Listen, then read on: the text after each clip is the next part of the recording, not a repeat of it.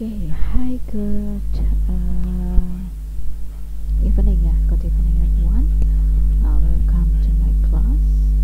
Uh, this is English 1 classes and today is the first meeting of us. Ini adalah pertemuan uh, pertama ya untuk kita dan uh, ini adalah kelas full online. Uh, first of all, I would like to uh, wait a minute. Yeah, first of all, I would like to introduce myself. Uh, my name uh, Novita kusumaningtias, and here I will teach English class and yeah, English class in Stockholm, yeah, University of Stockholm. And for your information, in Stockholm itself, uh, there are three English classes uh, for S1 degree. For untuk yang S1 ada uh, there are three classes, and for D3 program there are two classes. Dan two classes, I'm sorry. Dan untuk yang S1 dan D4 tiga kelas bahasa Inggris, begitu ya. Uh, dan ini adalah pertemuan pertama sebenarnya uh, ini ya. Uh, sebelum saya masuk materi ada beberapa uh, aturan yang akan saya sampaikan di kelas saya. Yang pertama adalah uh, ada beberapa hal yang akan saya sampaikan. Yang pertama aturan di kelas saya karena kelas ini adalah kelas full online uh, di mana semua materi akan diupload di Siakat dan Anda uh, Anda bisa akses uh, kapan pun dan di mana pun itu Anda bisa akses dan untuk absensi anda bisa absen dari pertemuan satu sampai pertemuan terakhir uh, pertemuan satu sampai pertemuan terakhir di mana uh, eh dengan catatan saya sudah upload video gitu ya. Jadi kalau saya sudah upload video dari pertemuan pertama sampai ke 16 Anda bisa absen tuh pertemuan pertama sampai 16 saat Anda uh, sekarang nih ya misal Anda akses uh, si akad Anda masuk si akad anda uh, absen dari pertemuan pertama sampai terakhir bisa bisa bisa saja. Jadi full online itu uh, tergantung uh, diri anda sendiri gitu tanggung jawab diri anda sendiri untuk mempelajari materi yang diberikan oleh dosen. Begitu ya. Jadi uh, belum tentu video yang saya upload itu sesuai dengan hari H pertemuan. Misal hari ini uh, dan jam pertemuannya ya. Misal hari ini pertemuan pertama saya upload video dan jam sore. Padahal nanti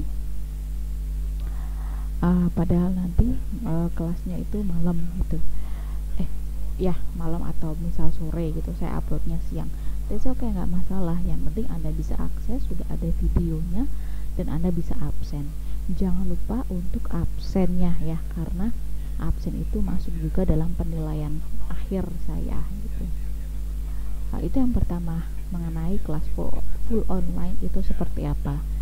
Uh, sekali lagi saya ingatkan full online itu uh, materi semua uh, saya uh, upload gitu di Siakat. Anda bisa akses kapan pun dan di mana pun.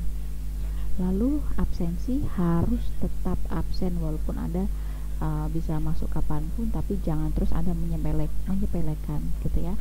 Jadi tanggung jawab harus tetap uh, ada gitu ya Anda harus tetap bertanggung jawab atas uh, mata kuliah uh, yang ada gitu. Lalu tugas-tugas. Uh, tugas-tugas nanti di kelas saya ada ada tugas gitu.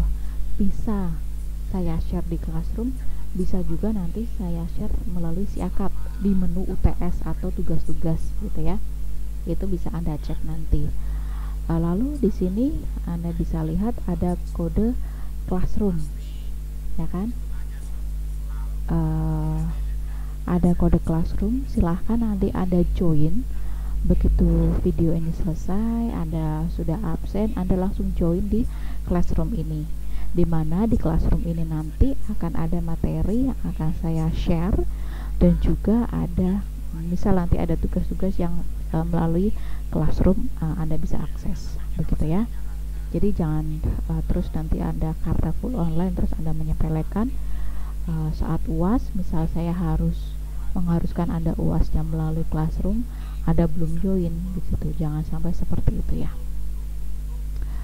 Uh, ini adalah uh, classroom. Itu ini adalah classroomnya. Lalu uh, materi apa saja yang akan saya ajarkan di bahasa Inggris? Satu ini materi yang umum. Uh, masa, mata uh, materi basic uh, basic dari bahasa Inggris itu seperti apa. Jadi uh, recall aja sih materi-materi yang sudah anda dapatkan uh, saat anda sekolah dulu. Untuk materi yang pertama uh, untuk materi yang pertama ini anda bisa lihat uh, topik kita adalah why should we learn English? Kenapa sih kita harus belajar uh, bahasa Inggris gitu? Apakah bahasa Inggris itu penting atau enggak gitu ya? Terutama buat anda yang uh, jurusan uh, jurusan yang anda ambil itu bukan jurusan bahasa Inggris. Nah, kalau ma mahasiswa jurusan bahasa Inggris kan ya mau nggak mau akan belajar bahasa Inggris karena mereka sudah memilih bahasa Inggris sebagai jurusan uh, mereka. Tapi untuk anda yang bukan jurusan atau non English uh, students uh, apakah penting? Apakah perlu dan mengapa kita harus belajar yang namanya bahasa Inggris? Nah itu akan kita uh, bahas uh, di sini akan saya bahas di sini ya. Sekelas aja sih gitu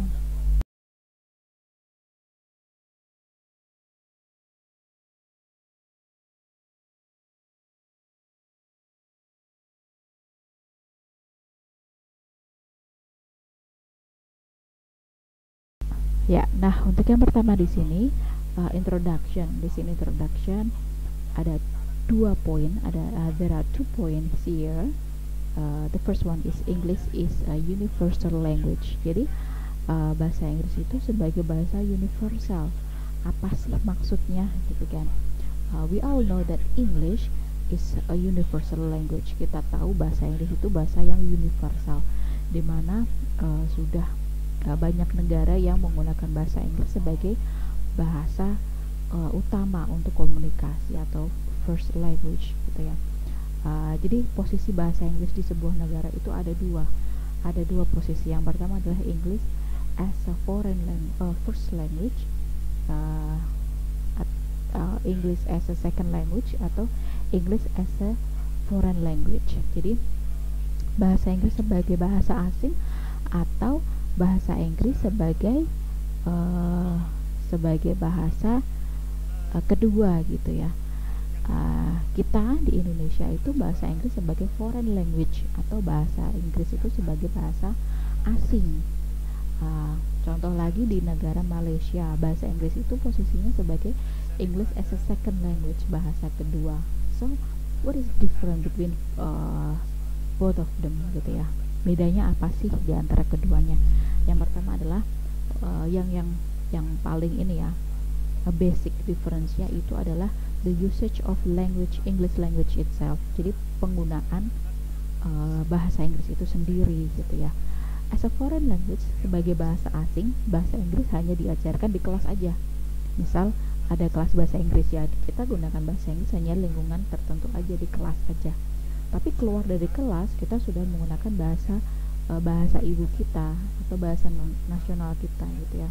Bahasa Indonesia atau bahasa daerah masing-masing. Tetapi untuk uh, posisi yang kedua English is the second language bahasa Inggris sebagai bahasa kedua uh, itu adalah uh, di mana penggunaan bahasa Inggris itu tidak hanya di uh, lingkup tertentu aja gitu ya. Contohnya tadi ya di uh, pengajaran atau di sekolah bahasa Inggris tidak hanya di kelas aja tapi di luar sekolah di luar kelas uh, di luar kelas kita tetap menggunakan bahasa Inggris sebagai komunikasi sehari-hari gitu. Kalau misalnya anda lihat di Malaysia kan hmm, bahasa Inggris itu kan walaupun dia punya bahasa Melayu, Melayu uh, bahasa nasionalnya itu bahasa Melayu tetapi uh, mereka uh, ada campurannya dengan bahasa Inggris begitu uh, Singapura juga sama gitu. Jadi itu ya bedanya ya antara foreign language dan second language. Uh, kelemahan kita di Indonesia adalah bahasa Inggris sebagai foreign language. Jadi uh, ya hanya di lingkup uh, kelas aja kita pakai bahasa Inggris. Sedangkan di luar kelas kita sudah menggunakan bahasa uh, nasional kita atau bahasa daerah kita masing-masing gitu. Itu uh, sebenarnya nggak nggak terlalu bagus ya karena kita akan ketinggalan untuk kemampuan bahasa Inggrisnya.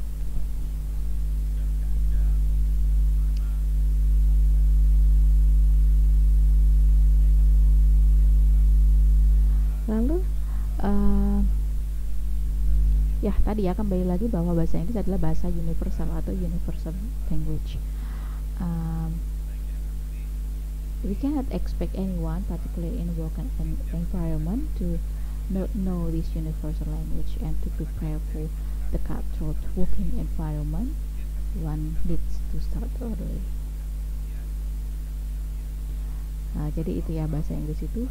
Uh, yang dimaksud sebagai bahasa yang universal itu sudah sudah common language gitu ya sudah bahasa yang umum.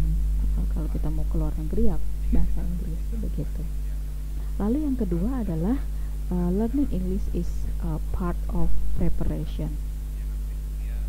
Kameranya saya offkan aja ya. Ya. Lang uh, learning language is part of preparation. Jadi ba belajar bahasa Inggris itu sebagai bagian uh, dari sebuah persiapan. Persiapan apa sih gitu ya? Yang dimaksud persiapan itu seperti apa gitu. Misal uh, English is the most essential language in the field of education bahasa Inggris itu uh, bagian yang essential bagian penting dari uh, pendidikan. Uh, there are many countries where English is learned as a second language. Jadi uh, ya seperti saya tadi bilang bahwa beberapa sudah banyak negara yang uh, menggunakan bahasa Inggris uh, sebagai bahasa kedua mereka gitu. Jadi uh, tadi ya talk about preparation in learning ya education gitu ya kalau mau maju ya mau mendapatkan info yang up to up to date ya uh, diusahakan bisa nama uh, bisa menguasai sedikit gitu ya bahasa Inggris gitu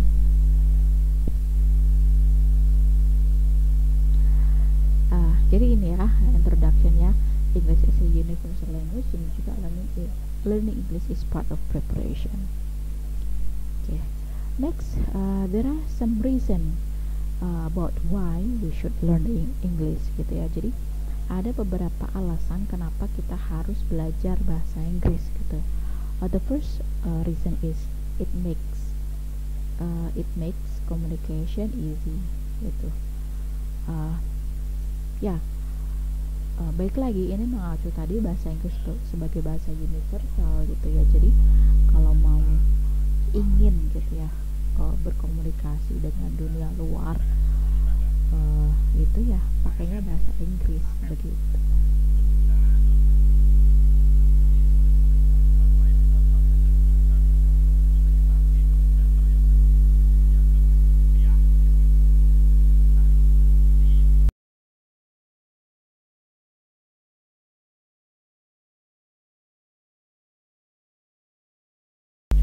ya itu uh, alasan yang pertama. Jadi uh, se kita sebagai uh, pelajar gitu ya uh, kalau ingin uh, punya memperluas jaringan pertemanan uh, di luar negeri ya mau nggak mau anda harus bisa yang namanya bahasa Inggris begitu.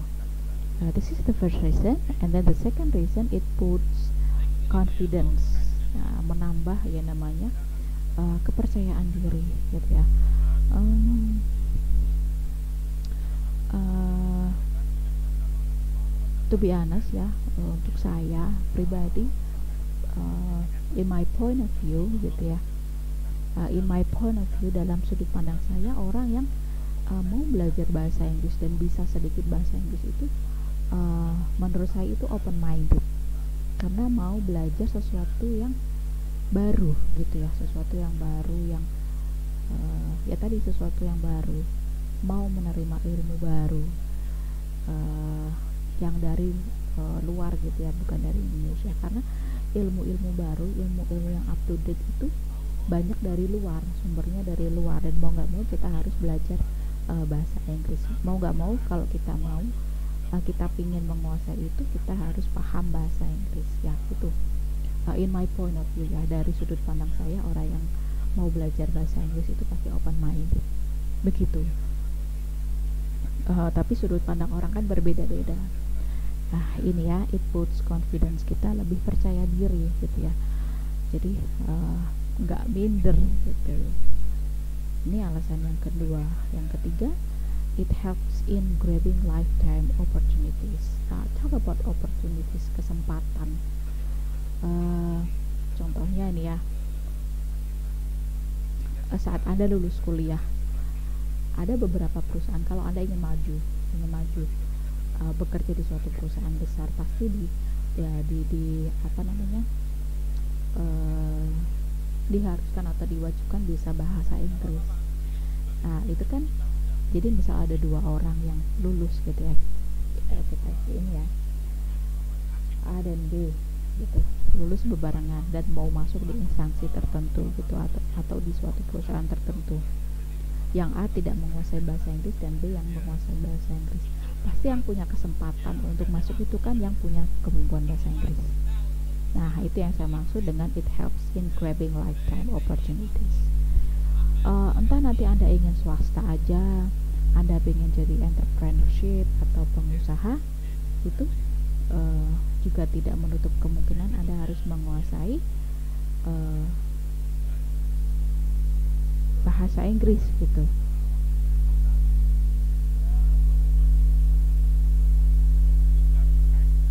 Ya menguasai bahasa Inggris gitu tadi ya uh, misal usaha anda ingin diekspor itu kan anda harus bisa uh, bahasa Inggris gitu. Walaupun anda tidak menguasai fasih misal anda ada uh, ini ya um, anda misal jawab ah kan bisa nge-hire uh, orang gitu atau uh, membayar orang karyawan kita yang bisa bahasa Inggris. Tapi kan jangan sampai kita dibodohi atau kita dibohongi oleh karyawan kita. Kita nggak bisa bahasa Inggris tapi karyawan kita bisa bahasa Inggris. Nah kita harus tahu nih oh, sedikit basic aja tentang bahasa Inggris gitu.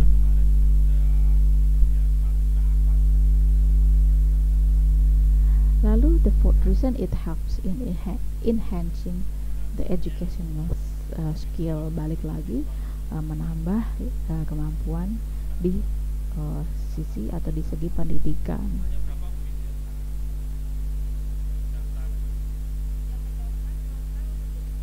Ya, uh, ini tadi ya uh, uh, ilmu yang up to date itu atau pengetahuan yang up to date itu pasti pakainya bahasa Inggris. Nah, kalau ingin ingin up to date dari berbagai ilmu Anda harus menguasai bahasa Inggris begitu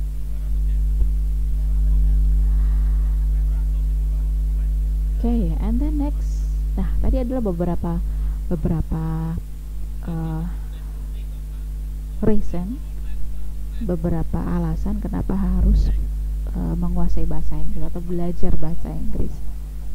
Uh, lalu yang selanjutnya adalah uh, wait a minute. Caranya nih how to improve English effectively. Bagaimana sih kita uh, menambah atau mengembangkan kemampuan bahasa Inggris kita secara efektif gitu? Yang pertama adalah yang terpenting ya ini ya trust yourself. Anda harus uh, tanamkan ke diri Anda positive mind gitu ya positive thinking bahwa I can do it saya bisa nih. Kalau positif mind itu masuk ke diri anda anda akan punya semangat. Uh, you, have a spirit to learn uh, to uh, to learn something new. In this case is is to learn English gitu ya. Jadi anda harus tanamkan diri anda bahwa anda bisa. Anda percaya pada diri anda sendiri bahwa anda bisa. Jangan terus anda ah ini susah nih aku nggak bisa aku nggak bisa. No I hate that uh, words gitu ya. Saya nggak suka kata-kata seperti itu. Kalau kita belajar sesuatu yang baru itu ya uh, pasti nggak nggak gampang gitu. Pasti butuh yang namanya effort butuh namanya usaha. Percaya pada diri anda sendiri itu yang pertama itu yang kedua adalah practice more. Latihan terus latihan terus. Uh, untuk speaking anda bisa uh, berdiri di cermin Anda membaca dulu aja deh. Ada baca tapi di cermin. Itu uh, bagaimana pronounce anda itu sudah uh, benar apa belum? Lalu uh, jangan lupa untuk uh, jangan jangan apa namanya ya bosan untuk melihat dictionary kamus gitu ya kalau sekarang sudah enak ya ada Google Translate kita bisa mendengar uh, bagaimana how to pronounce words or even in or uh, even in a sentence gitu ya. Kita sudah bisa di Google uh, Translate itu ya. Kalau dulu kan Google Translate masih ya, jelek ya sekarang sudah lumayan lah.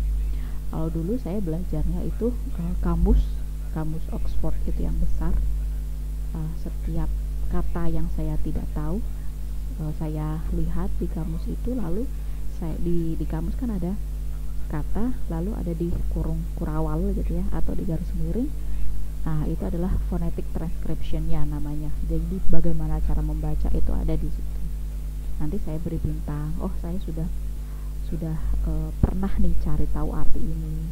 Nanti kalau misalnya besok lupa lagi saya buka lagi saya kasih bintang lagi. Oh ternyata sudah uh, beberapa kali saya belum ingat-ingat ini gitu. Itu teknik dulu yang saya gunakan saat saya kuliah. Kalau sekarang sih sudah enak ya pakai uh, banyak sekali uh, tools atau aplikasi. Lalu yang uh, listening jangan lupa untuk listening karena uh, listening itu termasuk satu yang susah ya itu listening. Dan banyak reading banyak membaca tulisan dalam bahasa Inggris. Itu lalu yang ketiga use website or apps. Uh, karena sekarang sudah zamannya uh, digital era industri uh, 4.0 atau uh, kemajuan teknologi itu sudah pesat sekali. Jadi sudah banyak website uh, untuk belajar bahasa Inggris dan sudah banyak aplikasi uh, apps atau software yang bisa Anda gunakan untuk belajar bahasa Inggris terutama uh, melalui uh, gadget Anda, HP Anda. Anda bisa nih belajar dari sini gitu. Uh, anda download di Play Store itu banyak sekali. Kalau ada satu nih yang saya uh, sedang pakai juga yang namanya Cake. C A K E C Cake tulisan Cake gitu ya, C A K E gitu ya itu adalah sat, uh, satu website yang uh, not website aplikasi yang sedang saya gunakan untuk belajar uh, terus belajar bahasa Inggris. Karena belajar uh, bahasa itu harus ada partner ya. Harus ada uh, partner. Uh, ya saya belajar melalui itu ya. Jadi di aplikasi Cake itu uh, anda bisa lihat dari dari ada cuplikan-cuplikan dari uh, film dari YouTube anda bisa latihan juga untuk mengulang kata-kata tersebut begitu. Dan itu bahasa sehari-hari. Nah, Anda bisa menggunakan beberapa uh, aplikasi yang di uh, yang ada di uh, software um, sorry di gadget Anda. Gitu. So, um, tidak ada kata terlambat untuk belajar gitu ya. Jadi jangan terus hmm, aku sudah uh, udah tua nih gitu misalnya udah udah umurnya nggak muda lagi. Nah, jangan seperti itu. Teruslah berusaha teruslah uh, belajar. Begitu.